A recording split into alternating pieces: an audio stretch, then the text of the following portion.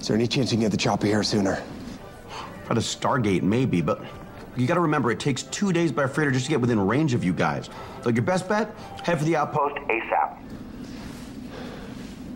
Roger. We'll contact you again from the outpost. Over. Good luck, all right? Uh, Roger, over. Monkey talkie talk. Thanks, Mills.